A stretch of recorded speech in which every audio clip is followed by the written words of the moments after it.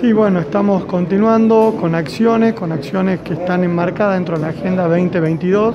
de erradicación del bullying en la ciudad, aprovechando una oportunidad eh,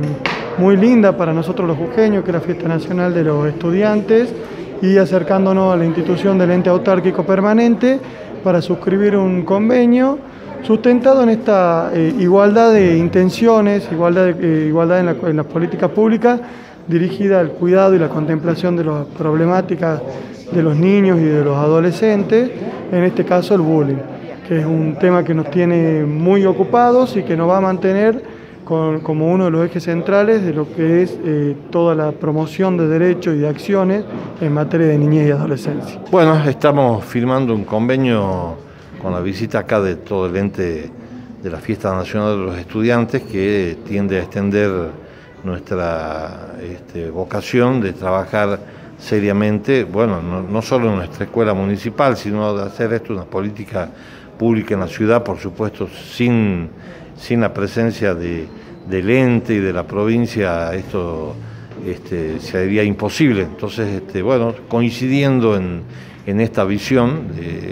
de un problema que creo que hay que tomarlo muy en cuenta antes de que vuelva toda la normalidad en las escuelas para fundamentalmente decir que viene hace tiempo este, la cuestión del, bullying en los establecimientos escolares y toda la situación de la pandemia significa un aislamiento de los chicos, cómo volverán, cómo será la salud mental de,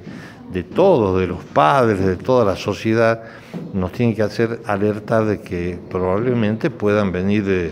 este, problemas nuevos que desconocemos, pero justamente los que ya conocemos tenemos que abordarlos desde ya con mucha seriedad, con mucha eh, con la posibilidad de, alertarnos a que debemos seguir trabajando con cuestiones que ya vienen siendo casi una costumbre en, nuestras escuelas, en los niños, en los adolescentes y que justamente tenemos el deber como funcionarios públicos de luchar en contra de estas prácticas. Gracias. Eh, agradecidos en primer lugar al municipio que, también se suma a esta campaña que nosotros ya iniciamos, que es la lucha contra el bullying, eh, un, tema importantísimo, sobre todo eh, en estas épocas donde los chicos se exponen mucho más en, en, las redes sociales, en los medios. Es una lucha que hay que dar durante todo el año, como bien decía el intendente, pero que se intensifica en estos momentos.